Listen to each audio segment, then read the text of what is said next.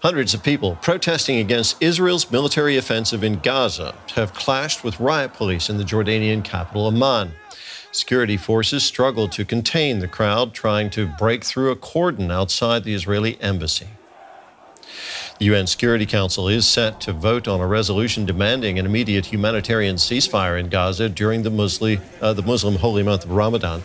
The vote comes after Russia and China vetoed a U.S. sponsored ceasefire resolution on Friday.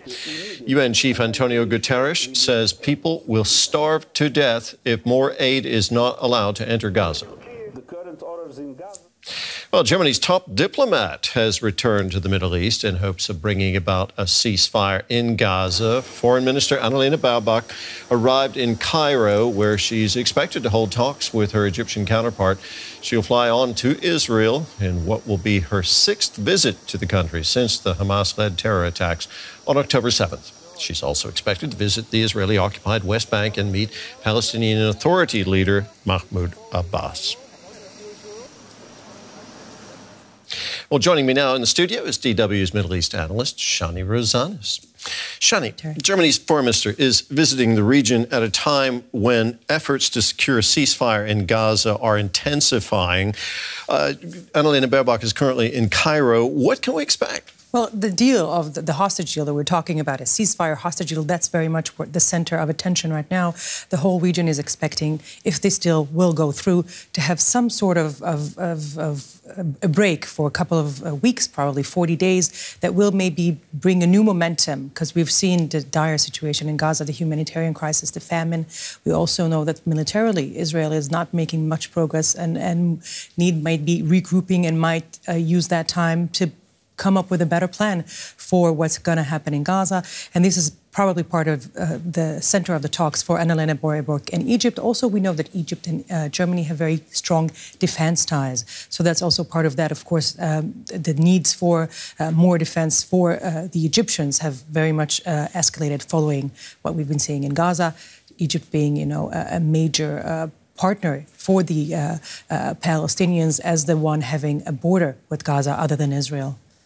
Now, Baerbock will travel to Israel later today. Uh, she and many others have voiced concern about Israel's plans to launch an offensive on the Rafah, uh, the city of Rafah in southern Israel, where more than a million Palestinians are sheltering right now. Uh, is Prime Minister Netanyahu, Israeli Prime Minister Benjamin Netanyahu, is he showing any willingness to reconsider his plans to launch that assault on Rafah? No, not officially at least. Uh, he seems very adamant in still going through a very massive ground invasion military operation into Rafah, that city that is on the border between Egypt and Gaza, which also affects very much Egypt. There's a great concern for the Egyptians what happens in case that the over 1 million uh, Palestinians that had to flee there will try to find refuge. Are they going to cross the border? What that might mean, what that, that could also have uh, risks for the Egyptians. That's one part of that. But there's also the issue of Rafah itself. Uh, the, the, Israelis seem to be pushing forward uh, for more uh, uh, military operations there. They claim there are four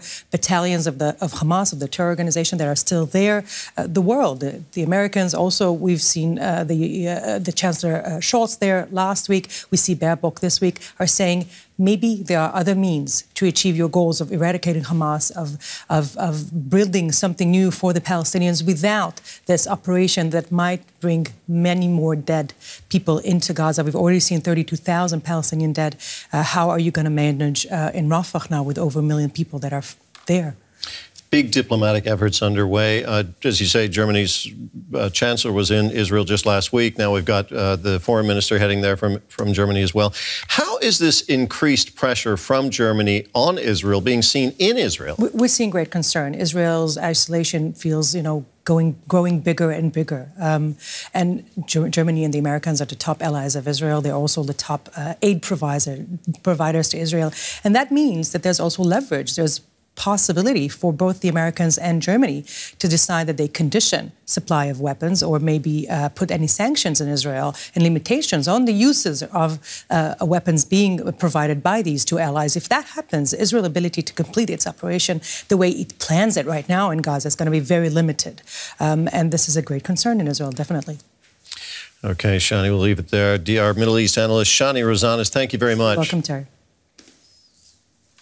Journalist Karim El-Gawhary joins us from Cairo. Uh, tell us more about Baerbock's meetings in Egypt.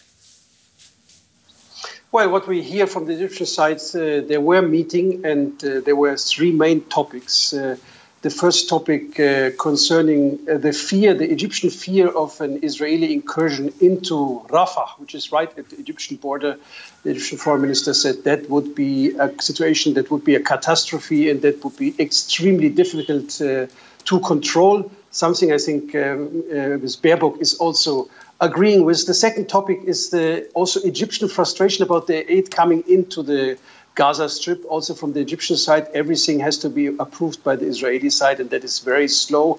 There needs to be more aid coming in. Also, something the Egyptian and the German side uh, basically uh, agreed on. And the third one is, of course, uh, the Egyptians briefed uh, uh, the foreign minister, German foreign minister on uh, the, where the negotiations are standing, where the Egyptians and the Qataris are mediators between Hamas and Israel and uh, the last thing, the Egyptians made again very clear uh, to Frau Baerbock that um, they want to have and there needs to be an unconditional ceasefire now.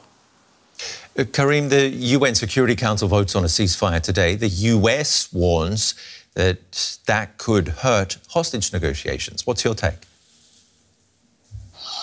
Well, the US put their own uh, resolution in uh, uh, lately, and it was uh, trying to link uh, the ceasefire with the hostage release. Uh, other states were saying that it's kind of a pick and choose situation where, which would not end the war immediately. And this is why we have now a second attempt today, brought in by other states, asking for an immediate ceasefire for the rest of uh, the uh, months of Ramadan, uh, and that should uh, enter into like a more sustainable, longer ceasefire. And there's no connection to the relief uh, release of hostages in this resolution. And the UN describes the situation in Gaza yet again as catastrophic. Dozens of aid trucks are waiting at the Egyptian border with little access, especially to the north. What are you hearing from the people there? Yeah, I mean, just yesterday I got a message, uh, a voice message from the north, from a family that uh, is uh, there's a lawyer. He's living in Gaza City with uh, his uh, three kids at the age between four and 11, his pregnant wife. He's taking care of his two elderly parents. And he is describing it was 26 minutes, a voice message of total misery. He explained uh, the situation of food is catastrophic. They said at the beginning they ate their stock then they started to uh, do less meals. Then there was less food during the meals, and now there's really no food. He says uh, they're eating greenery they find, which they cook and then put it uh, on the plates. They are looking through other destroyed houses by Palestinians who left the northern Gaza Strip in the hope that they find some food there. Uh, also, he said the, the, the, water situation is also difficult. It takes he walks every day for about five kilometers to get uh, some kind of water, which is actually not really drinkable because it's uh, kind of mixed with sewage water and it's very salty. And he, he describes it as all kinds of living beings swimming in this water, so very difficult. And uh, the last situation he really explained was the psychological situation of his children. He said, like, uh, all his children are right now too scared to go to the toilet on their own. And uh, he describes the psychological situation of his four-year-old, which uh, basically he says he's sitting all night on my lap and he makes all kinds of he stops talking. He made all, makes all kinds of strange noises and uh, he's afraid that uh, his kids basically are losing their minds so it's a very very miserable situation when it comes to food when it comes to water when it comes to the mental situation of the people who are right now in the gaza in the northern gaza strip and that is underlining i think the need uh, that is also discussed today in the UN Security Council about the immediate ceasefire for humanitarian reasons, especially in northern Gaza. Karim, thank you very much for bringing us up to date on the situation both in Gaza and from the talks there in Cairo.